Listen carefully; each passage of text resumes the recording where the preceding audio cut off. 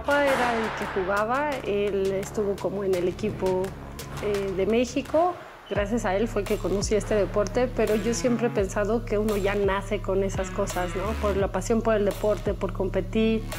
Y, bueno, eh, con el squash, eh, al final, la primera vez que, que entré a una cancha ya como a entrenar, ese día nos enamoramos el squash y yo hasta el día de hoy.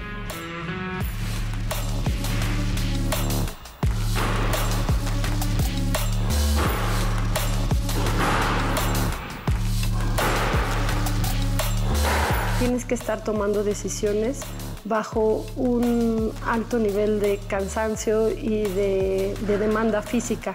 Entonces, al final, eh, eso es a lo que te orilla el squash, a que estés al tope de tus capacidades, pero con una alta demanda de cansancio.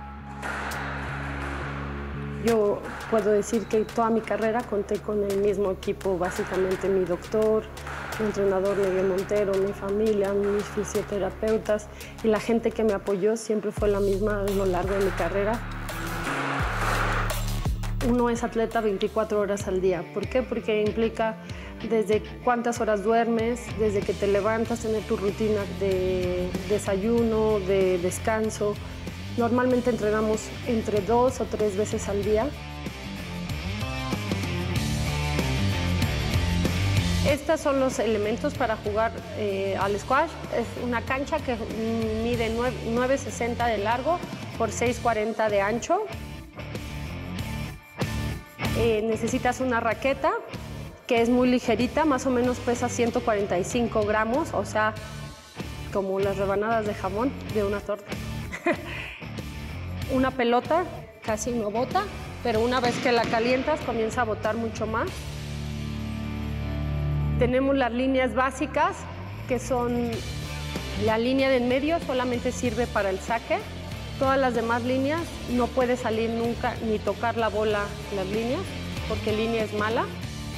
Estos cuadros solamente sirven para el saque, entonces un pie siempre debe estar adentro y el otro ya puede estar afuera o los dos adentro. Se juega a 11 puntos sin cambios, a 3 de 5 sets. La bola no puede dar más de dos botes, que eso es interesante porque, pues miren, no bota nada.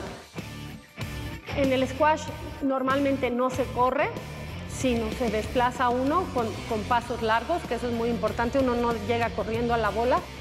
Como vemos, las canchas son, son de duela, entonces siempre el reglamento es jugar con tenis que, que no marquen, como estos que tenemos aquí, ya sea de suela de liga o que no marquen. Algo también muy importante del squash es que no importa el, clima, ¿no? Puede estar lloviendo, puede estar mucho sol, porque siempre es en un lugar cerrado y lo único que necesitas es a tu, contrincante. Me preguntaban que si el squash me debe yo le debía, les, digo, no, pues salgo debiéndole muchísimo al squash y siempre agradecida por todo lo que me enseñó dentro y todo lo que me dio fuera de la cancha.